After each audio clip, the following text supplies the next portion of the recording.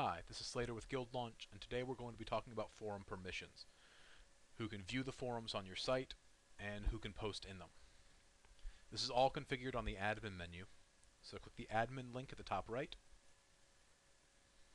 and you're going to want to be on the Features tab under Forums, and you'll want to be on the forum menu directly. To edit the permissions, you'll want to go to this column right here, click the edit link. So this forum is currently a, a public forum, but if you want to change that, click edit, and you'll be brought to this menu.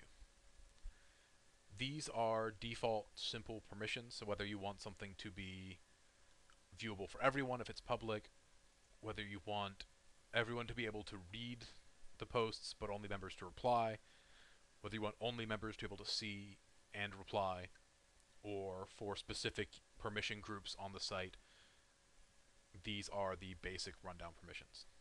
And to change that, just choose the category and click Submit. And you'll be able to return to the menu for, uh, right from there.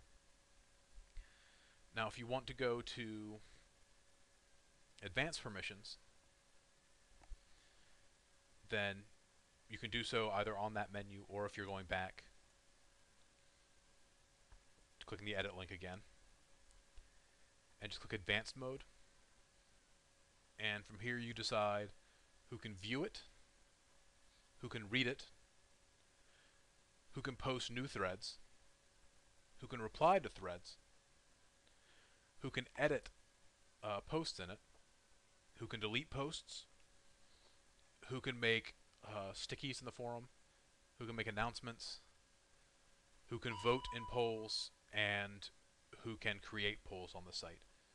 And each of these has, whether it's everyone, a registered member, a member of a specific permission group, moderators, or the site owner.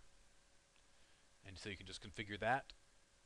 Once you're done, click submit and it will go live on the site. If you have any questions, feel free to email me at support at guildlaunch.com or post on our support forums at support.guildlaunch.com. Thank you.